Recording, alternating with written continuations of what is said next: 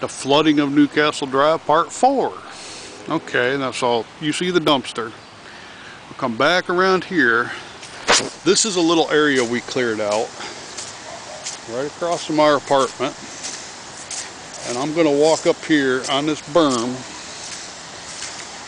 and I'm going to give you an idea.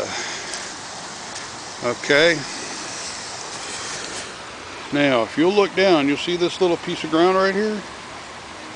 This is just about five feet above the water before the water floods. Now you can see how high the water is down here. And as the further down we go, the lower the ground gets.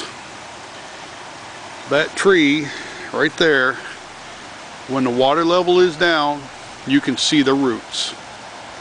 Somewhere down there, there's supposed to be a little basketball uh,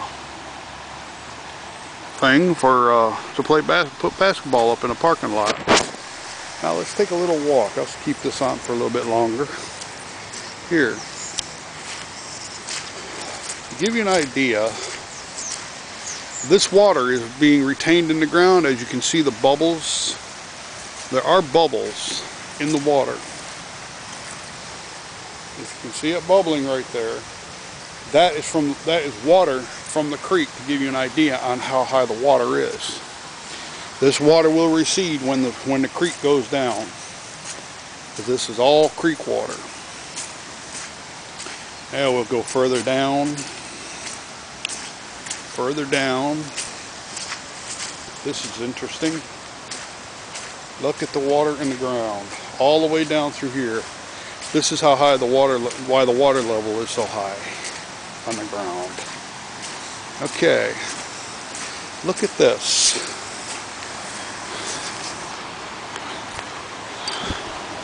As you can see, the flooding all the way down there over into that lot.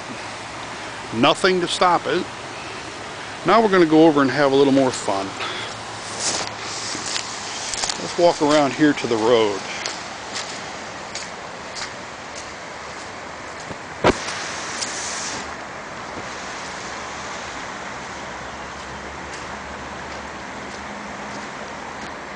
Come around to the front of the building. This is the water from the creek coming up on the yard, the front yard. You can see where it is. Hello. Give me a second here and I'll get back to you.